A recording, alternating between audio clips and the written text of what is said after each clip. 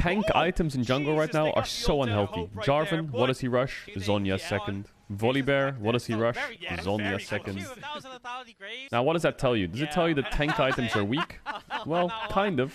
Or does it tell you that I could get stopwatch is fucking broken? Yes, stopwatch is absolutely busted. yeah, again, RNG, they will survive. They will be able to continue, as I'm about to sneeze. Like, can we not look at the patch and say, hmm, there's tanks running around the map with Uh, Zhonyas. Let's change that.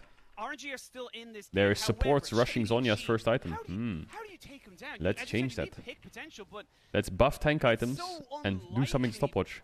I just don't see it coming up unless there's a massive mistake in positioning from JDG. well, I think as well, Missing has played this game. Dude, the, the length of stopwatch thing is, in uh, when you, the long the length of the stasis, you could honestly just the- the leave your. PC, make season coffee,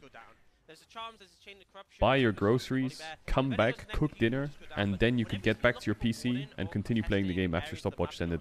It's ridiculous.